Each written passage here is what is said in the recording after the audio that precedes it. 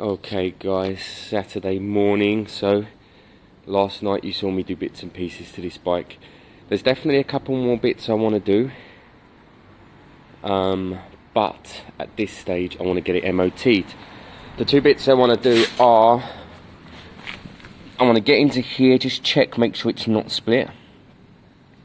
I want to run a new air line down to the, the, the fuel pump and I want to change this last bit of fuel line to the thicker black one as well. So we've got kind of the same size fuel um, lines throughout. So that's it. But saying that I'm going to be throwing on my GoPro and my aim is going to be to ride this bike to MOT now and see if it passes. I see no reason why it wouldn't at this stage um, it runs and rides well. It brakes well. All the lights work. The horn works. So I think I might be okay on this one. This strap on the back here is to hold the seat down. If any of you have popped seats on your mopeds and you think, oh man, I can't get this MOT'd, you just have to strap it down. It doesn't have to be locked. Um, now I'm only doing that until I do the Velcro fix. My aim is going to be to do a Velcro fix. Um, and it's just going to be two little bits, two little bits of Velcro under here, and you just, you just kind of rip it up. Other than that, I expect this bike to run and ride very well and get me to the MOT test centre. And I expect it to pass. So, wish me and the bike luck.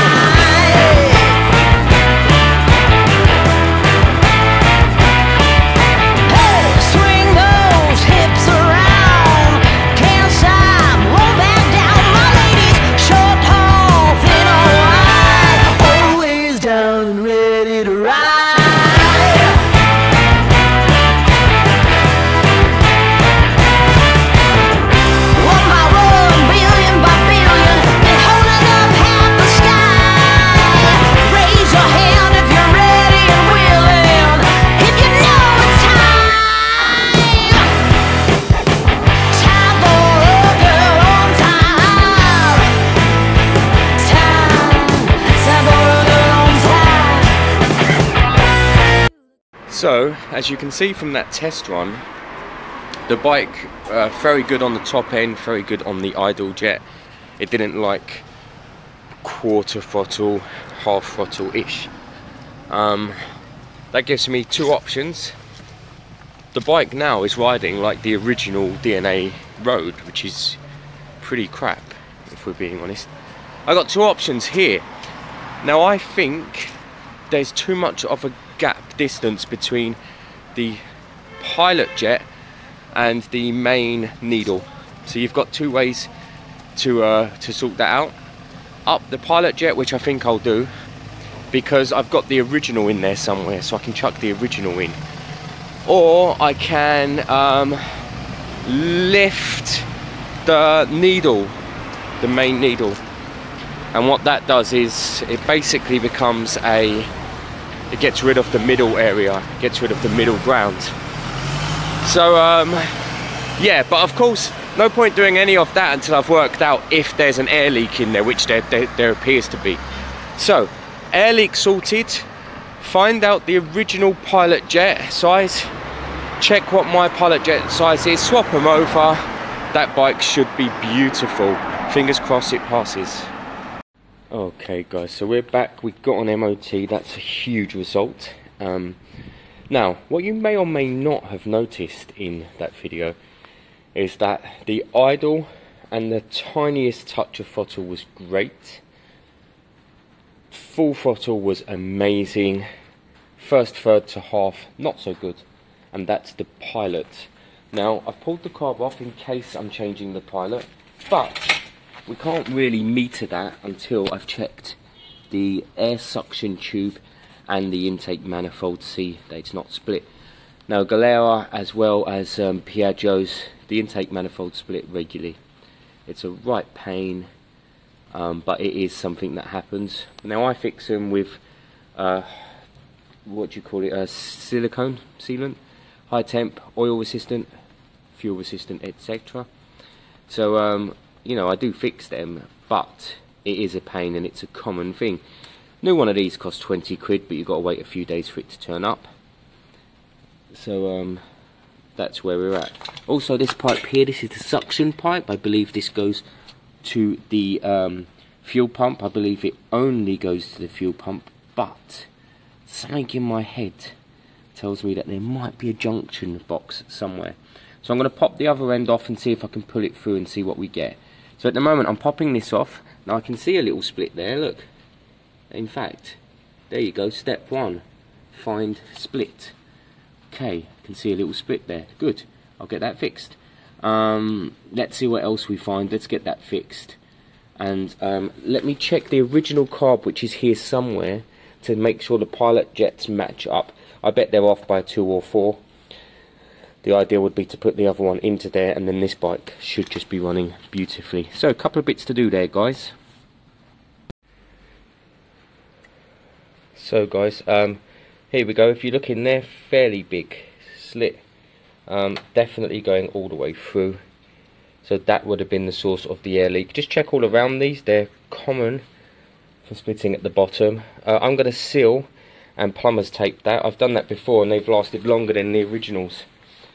Um, so seal and plumber's tape on that. So you put the sealant in, rub it on the inside smooth, let that sit and cure a couple of hours. Then you plumber's tape, which is a stretchy. It looks exactly the same as, as um, electrical tape. And to be fair, electrical tape would work anyway. Um, so stretch it around and you'll have a long-term fix there. These are kind of 15 to 20 quid. You could order them. Uh, but the guy interested in the bike would be coming to look tomorrow. And if I'm being honest, um, like I said, these are known for splitting. The repairs I've done in the past have outlived the um, originals. So um, I'm going to repair this one for now. Right, so next bit I need to do is I need to get this this suction wire here, I think I'm going to have to strip down the bike again. Because I want to check that suction wire system, make sure it's properly working. Um, so I think I'm going to strip the bike, it doesn't take long. In fact, what I'll do is I'll take the, the side panels off and the seat panel and the top panel. And um, I'll get right down to that, check them pipes properly, seal them up forever so that we know exactly where we're going. And it's all been done. And all of that while this is going to be sitting, curing, ready to be put back on. Um, they don't have a any seal between the head and here. It is actually just this rubber here that does it. You just bolt it down strong enough to make sure that it's not got any gaps. Interesting that.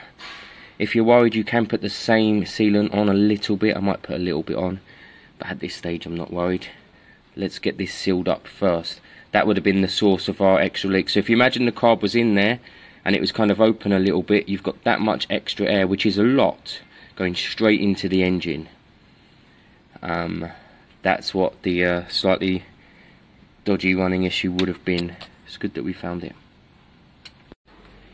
So here's the suction system I've just pulled out. Now I think I know what it does. I think one goes to the actual suction of the fuel um, tap at the top. So that is suction fed to start with. And then the second one controls the actual fuel pump. So one sucks fuel down into the fuel pump. That sucks the fuel pump around. Third one comes up and onto the uh, the manifold there which is currently being glued and sitting. Um, so I'm going to recreate this um, a little bit better. I'm going to extend the lines a little bit and I'm going to use my uh, red or orange lines because they're a bit more pliable and this system will be good and ready to go. It was sitting a bit tight on there up here guys. It was, you know, it wasn't in a great spot. So, uh, yeah, I'm going to try and get it a bit better. So I'm going to cut similar lines but a tiny bit longer. We'll get them seated properly and uh, we'll have this system back up and running better than it was and we'll have a, a manifold that's drying up there that will be working perfectly well. So we're we're nearing finishing the last few bits I wanted to do. Last bit I want to do as well is put the auto enrichment, the choke. Uh, it's an auto enricher, it's not actually a choke. Um, the other thing is, uh, I've got the um, the locking mechanisms working. The seat, the front locked on the key, and the seat locked on the key. But I'm not sure if the seat bar itself is long enough, so I'll have a little look at that after. Let me get this bit sorted first. So it's hard to show you that system, but there's the top part. It looks like spaghetti junction under there. Reds, yellows, greens. It's pretty cool.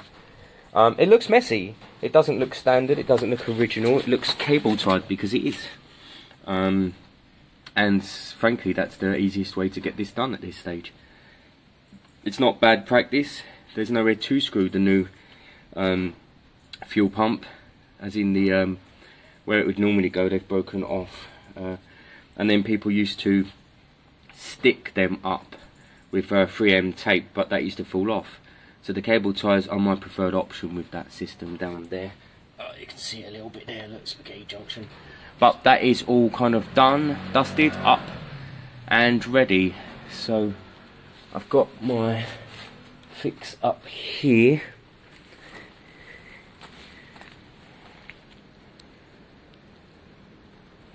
Now what I'm going to be doing is very gently skimming the inside of this. Just because it was a bit tight for the carb I don't want to put too much pressure on it especially on the fix. So I'm very gently going to be gently skimming the inside of there and then uh, I will be wrapping the uh, probably the electric tape if I can't find the plumber's tape. But you stretch it so that it seals and you can go all the way up to here and then you have a fully secure um, secure system. The other things to check is the intake here. This uh, you want to make sure it's fully sealed, which this one is, because sometimes they're just pushed in and they're not glued. Um, sometimes you buy seconds, uh, you know, non non OEM style ones, and you push them in and they're not that sealed, so you have to put glue around them. But this one's fine at this stage.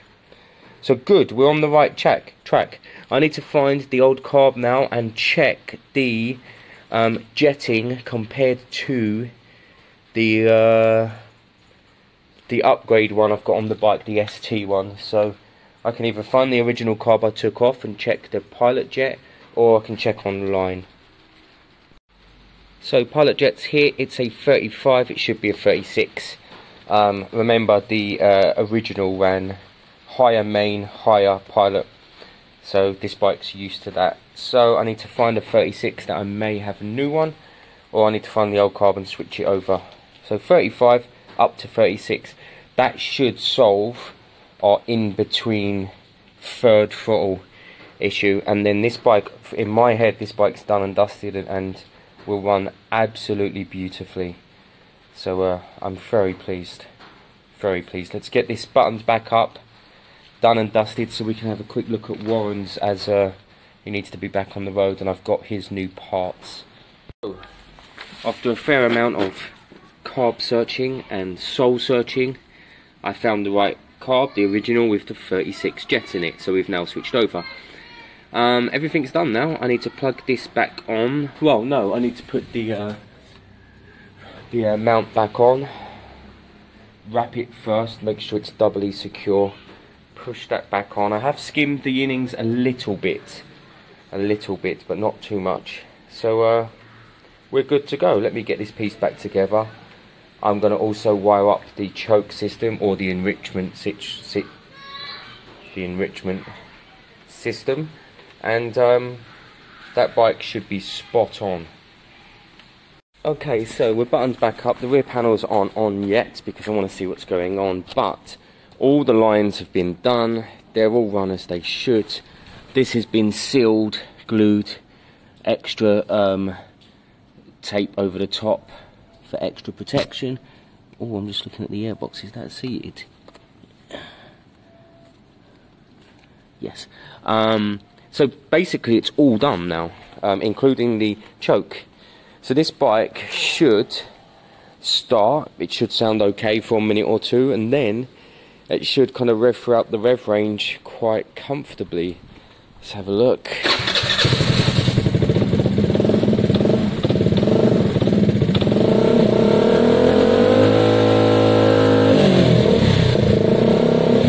At the moment, it sounds similar to how it did before. First third isn't overly comfortable. We need to let it warm up. I'm going to give it a minute and then we'll see how it goes. At the moment, we're looking for fuel um, spills, coolant spills, etc. I did top up the coolant. Couple of minutes to warm up. I'll take it for a spin. I'll see if we're any better off. Oh, look, the idle's gone lower. That's good. That means the hole's gone. What I will need to do is um, the uh, air fuel screw again. Good. That's good news, guys. That means the hole's definitely gone. So I need to adjust the idle screw just enough. Once it's warm, once I think the choke's off, I'll then adjust the air fuel screw to its highest setting. That means when the revs stop lifting, you go forward another half or a quarter and you're at your optimum there. So um, that's all good. Let me get that done. That's it guys, the bike's very happy, very, very happy now. Um, it's idling nice.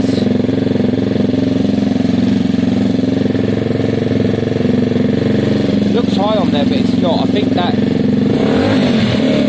uh, the throttle's much more responsive.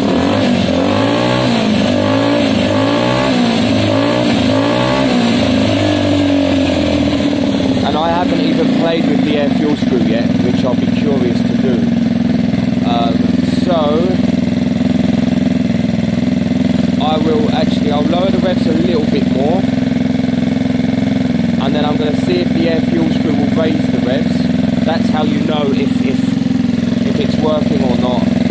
And I'm going to aim to get to the optimum, but this seems much smoother already. So I'm going to do the test run in a minute. Um, no, uh, no helmet cam this time because you saw a good one this morning, and uh, yeah, I'll let you guys know how this kind of bit of tuning goes. But in my head, this bike's going to be good to go. Um, one of the potential buyers is keen to come and look tomorrow, uh, and they're willing to leave a deposit, so it will probably be sold tomorrow. Uh, as always, it, for me, it's first come, first serve. Three people contacted me. One person's been super keen. The other person's quite keen, but hasn't said, I'll come now. The, the second person has said, I'll come now, and that's kind of how it works here, guys. Um, so, second guy's coming tomorrow. He's going to view the bike. If he likes it, he's going to buy it. But, let's not get ahead of ourselves. Let me get this out for a test run in a minute after a tiny bit more tuning. So that's it guys for the DNA. The DNA is finished. Um, I undid the choke. I wasn't sure if I'd wired it up the right way and I didn't want to mess it up. So I've undone the choke. It doesn't need it. It'd have to be especially cold in the UK to need the choke. This is jetted beautifully. It will start and run and ride all year round. Um, don't worry about this cloth sticking out. I've put the Velcro down for the uh, seat hold. So um, I want the, the glue to dry properly before I use it, that's all. Um, that's it. I mean, I start this bike, it revs throughout the rev range. It's it's done and dusted. It's a great bike. Don't get me wrong, it is not the best bike in the world. It's a Gilera DNA. They are rubbish. Um, you know, but they're kind of iconic. People love them. They're the only moped where you're sitting and riding as if you're on a motorbike. So there's something about them that's brilliant. If I ever get another one, I'm going to try again with the carb. I think this carb's great and works well. But I'd even prefer if I could get the smaller Piaggio fly carb on. So if I ever get another DNA 125, I'm going to be looking at adapting it for the smaller Piaggio Fly Carb for convenience. That's all. But currently, this bike runs, rides, cools, is pretty nippy, brakes, suspends, has a year's MOT, steering lock works, um, trunk lock works, uh, seat is uh, lock doesn't work, and um, that's it. it. It is a great bike. I, you know, I like it. I like its colour. I'm gonna head to Halfords later, see if I can get a tiny bit of touch up, but I think this is not a museum bike. This is a usable bike. Someone's gonna be riding this, so uh, it doesn't need to look mint, and that's the truth. It just needs to be what it is, really an iconic moped